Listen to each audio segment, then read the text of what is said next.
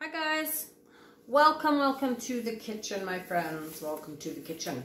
Uh, we're going to start backwards tonight. We're going to start on a couple pieces that were already completed because so many people have asked that I show dry results and I don't remember. Like I seriously don't remember.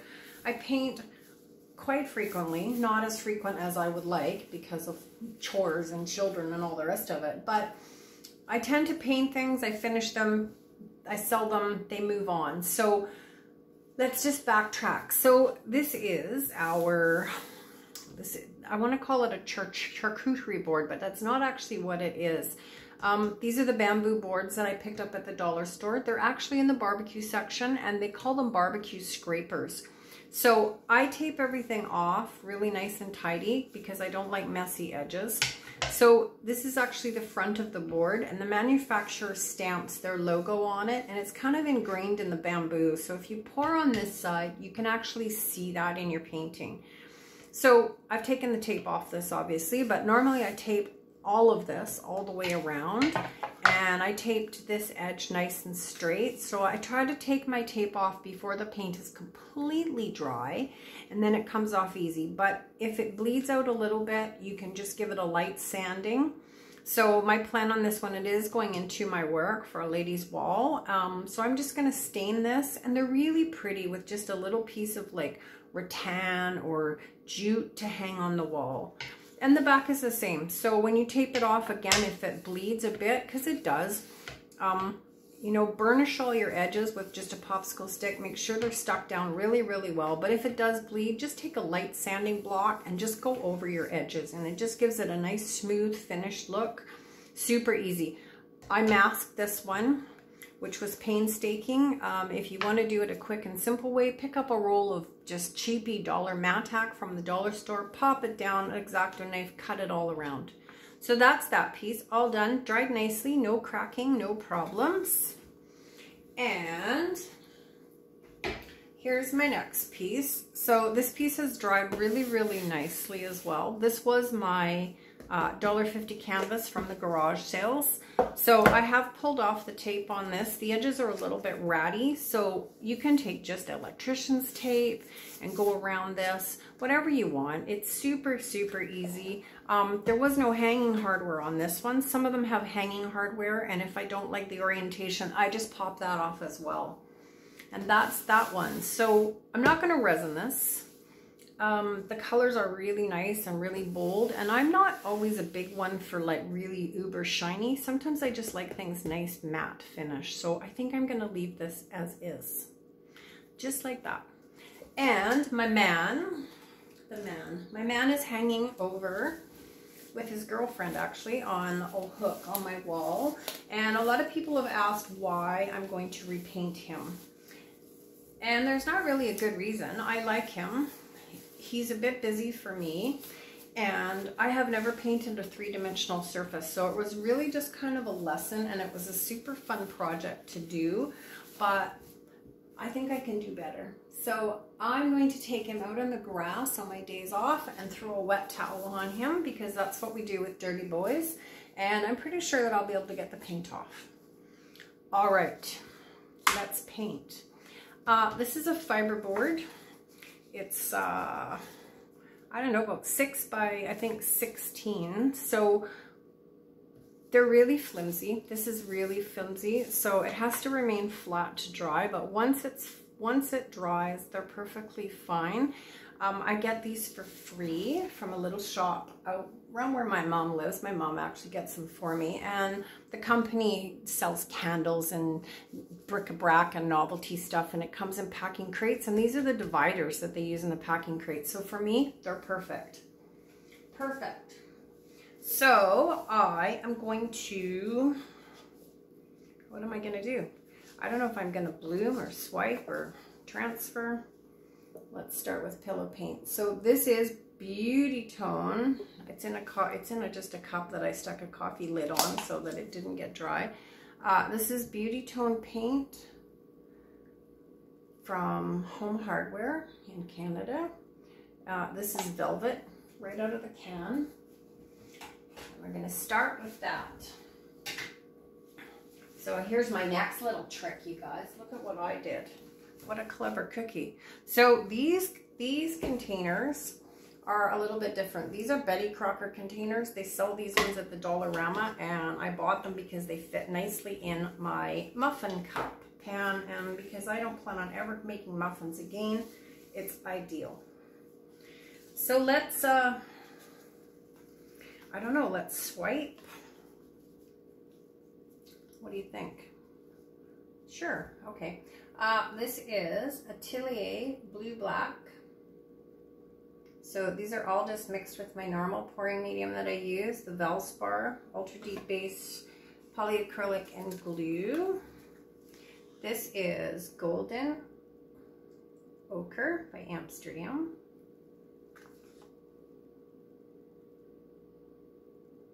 So I tried to get Payne's Gray, but I couldn't find any today in my collection of stuff. So uh, this is a mystery. I'm not sure what this is, but it's kind of a goldy color. So we're just going to call it gold. And this one is, it looks like titanium buff, but it's actually a little bit of DecoArt white satin enamel mixed with Amsterdam acrylic and a little tiny, tiny bit of golden ochre in it. And then this one is, this is metallic copper by Folk Art. And that's that. So we're going to swipe it out in black, I believe. And maybe a bit of white. So I'm going to put my swipe right on my palette knife. I can't find my nice big palette knife. Uh, this is the Aussie Floetrol. And let's add something to this. Let's add some of the gold to this. All right, here we go, you guys.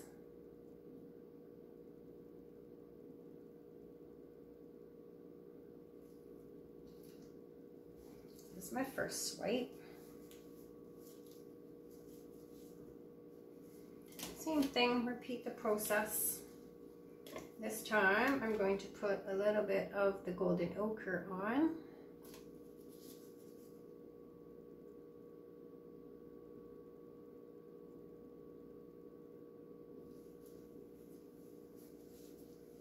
Wiping off my palette knife each time.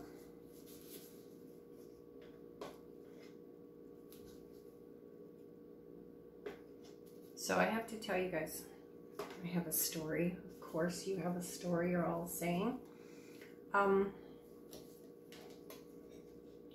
just like my paints call me, every once in a while I get this calling to go to the casino, which doesn't happen very often because I'm super, super cheap and I know that the casino odds are not in my favor to win. But it still calls me. So my birthday was yesterday and I talked myself out of and into going to the casino for the better part of the week. And I finally got dressed the other night. I thought, to hell with it, just go to the casino, take some money, and just go. I'm going to put a little bit of white swipe in here. I kind of wrecked this part.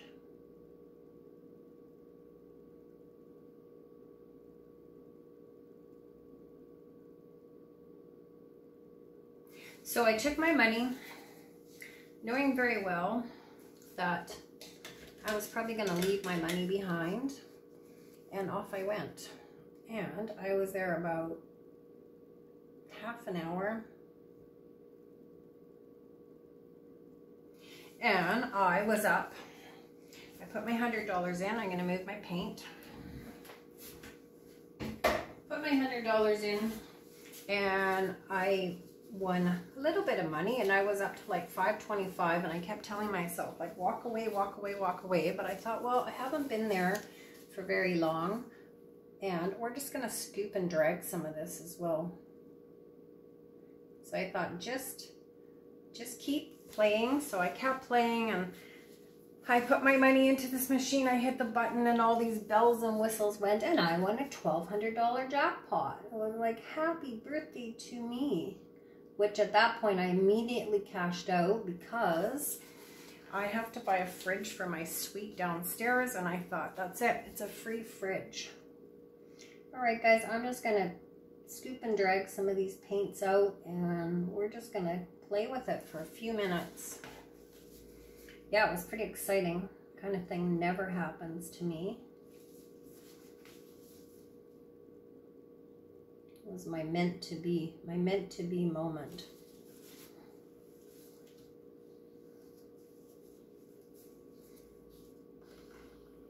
Let's just smoosh some of this around while we're while we're doing stuff here.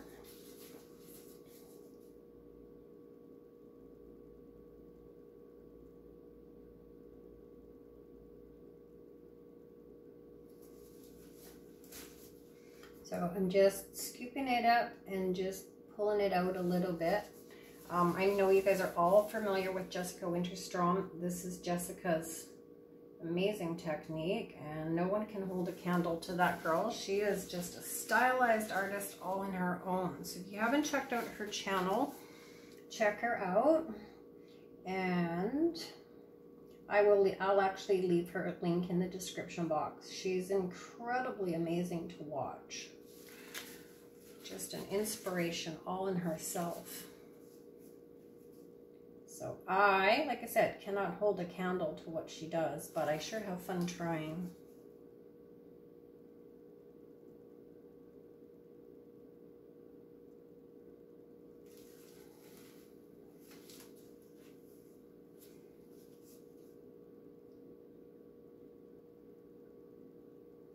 She has the most eloquent hand movements for moving the paint. It's, it's really quite mesmerizing to watch her. So take advantage of watching her and learning from her and watch how she manipulates her paint and watch her hand movements. Don't just watch, but actually watch. It's, it's just incredible. So kudos to you, Jess. Okay, let's spin this a little bit. I'm actually gonna just move a little bit of this paint around.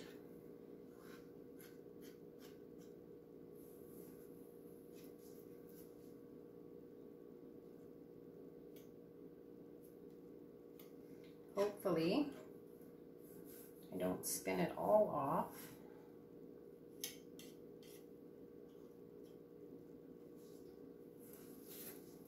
Okay, here we go, you guys.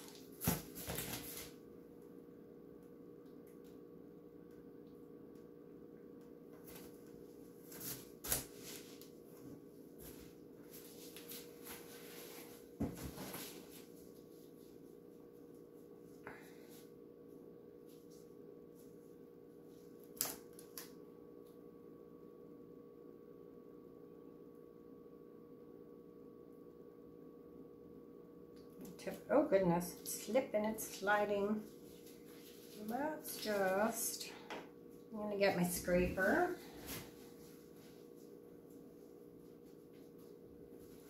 I think I'm gonna get my scraper. Hmm. Can't find my scraper, you guys.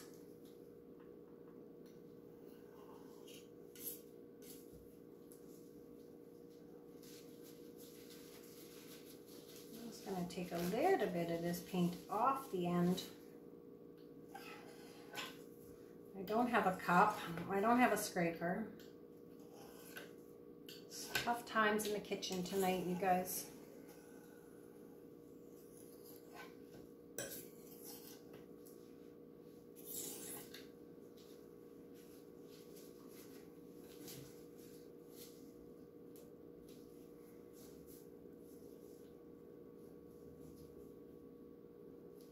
Oh, it's quite interesting.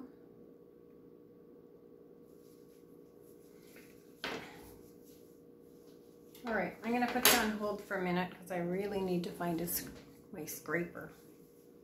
My big fat scraper.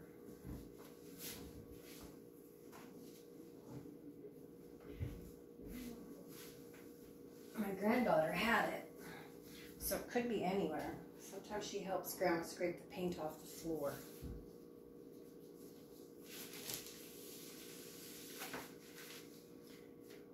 Oh my goodness. All right, I'm gonna put you on hold and I hope I don't lose you.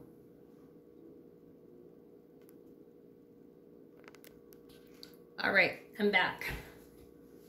So as always, parts I like and parts I don't like. Um, love the colors. I really, I'm going to spin it one more time. And let's see if we can just kind of maybe cover it all. I'm happy with the fact that I didn't put way too much paint on it. So basically what I scraped off was not so much, not so much at all. I'm trying to be less wasteful. All right, that's pretty fun actually. I think that I will stop here and maybe call this done. I've been I've been just dying, dying to paint, and my paints have been sitting out. And my granddaughter came up, and so everything got put on hold. And then my granddaughter left, and they went and had dinner, and I got all set up to paint again. And then they came back, and I'm just gonna put this aside for two seconds. I'm gonna wipe off this paint. Pretty good, not so bad for wasting.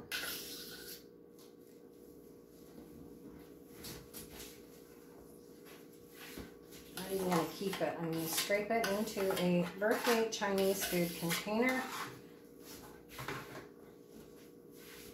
I'm gonna give this a wipe off.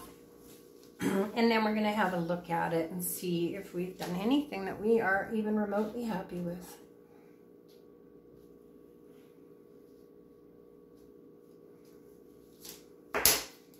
All right, so it has some really pretty areas.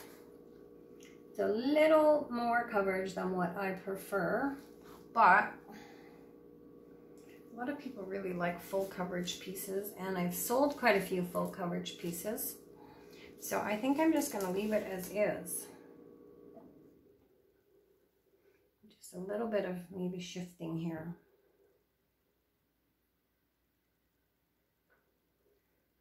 Sure I have enough paint off of it, which I'm pretty sure I do. All right, I'm to bring you down for a close-up.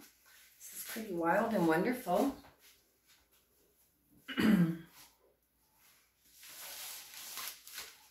All right, I'm to put you on hold again if I can find the button. All right, I found the button. Very hard to see in my kitchen. Um, there, I'll move my arm. Uh, beautiful, beautiful blue black. Blue black and quinacridone nickel azo gold and all these beautiful warm colors are so pretty together. Um, there's some really nice areas that I really, really like. I love this. I like these little striations of the blue coming down. Little pockets of cells. Definitely lots of fun things going on. Yeah, I love those little lines. All right, my friends, there it is with my shadow in the picture. I can't do anything about it.